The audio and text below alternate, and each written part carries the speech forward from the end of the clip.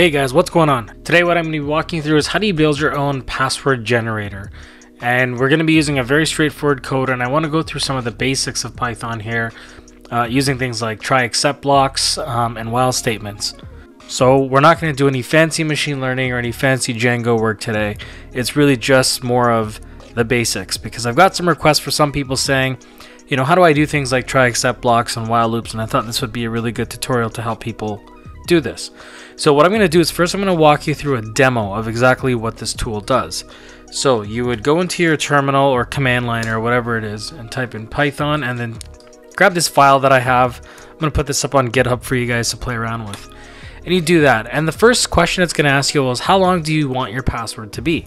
And I would say something like, let's say 10 characters.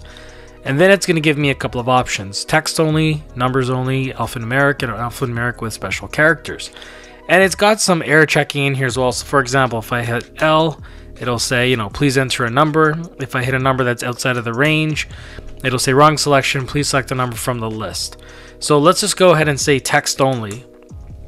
And it says, there you go. So here's a password for you, which is right there.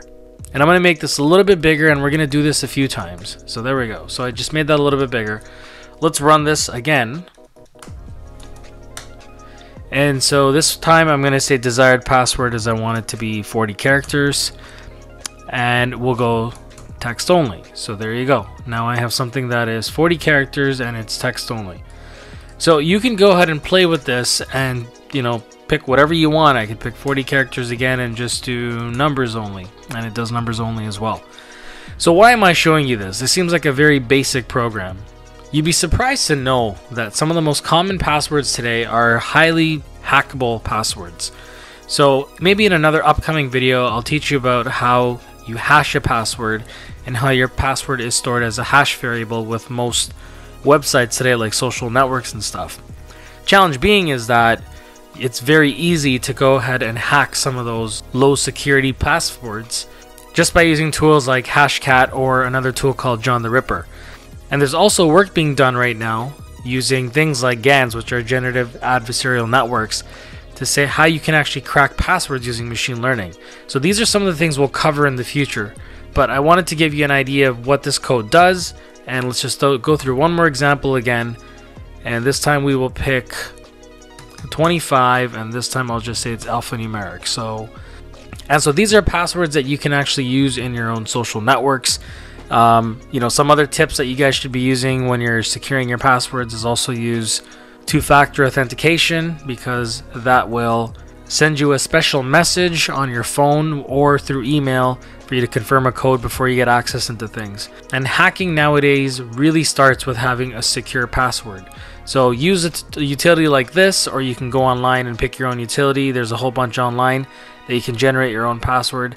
And first line of defense is always have a very strong password. So let's walk through the code and let me show you how we did this. So to do this, I really left it at basic bare bones Python. There's nothing I had to go ahead and import from a library standpoint.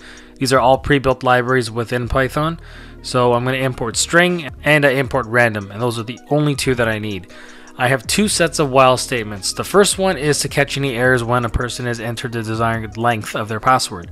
So for example, if I go back here and instead of my desired length, again, I go ahead and enter a letter, it's going to say, please enter a number. And so I can enter whatever, you know, like I said, I want 60 and then I pick four and it'll give me something that's 60 characters. And so really what it's doing here is it's saying, okay, enter in whatever you're going to put in.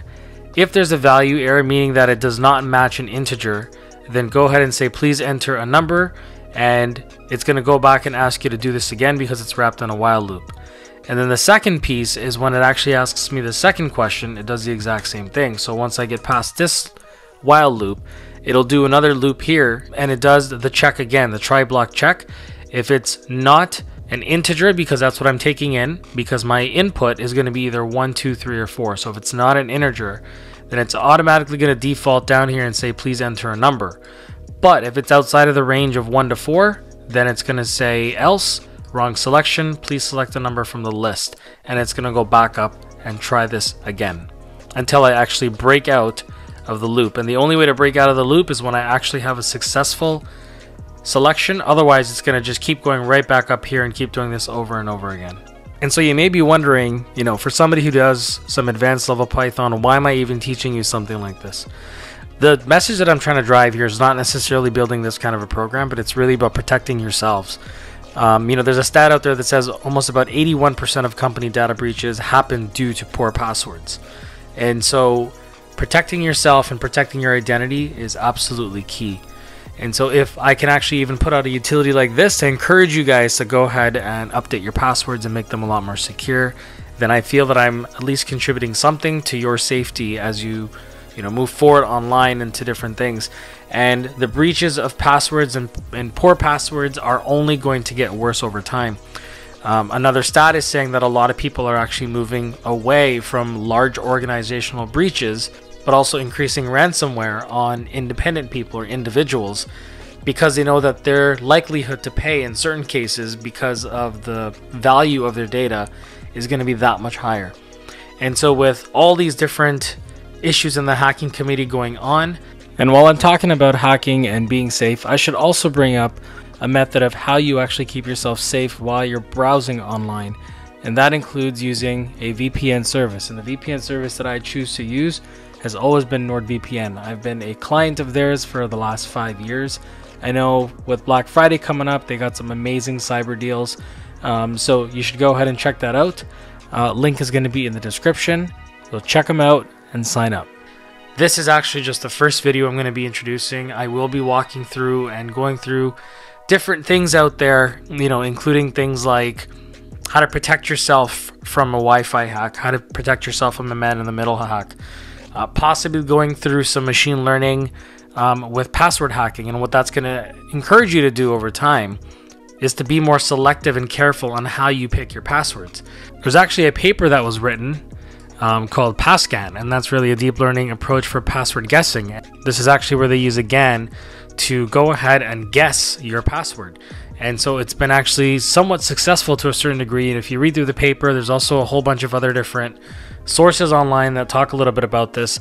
They also use LSTMs, which is a form of an, an, RNN, to try to guess the next letter in the password based on test data set. So a lot of advancements happening, and it's always important to stay ahead of this stuff.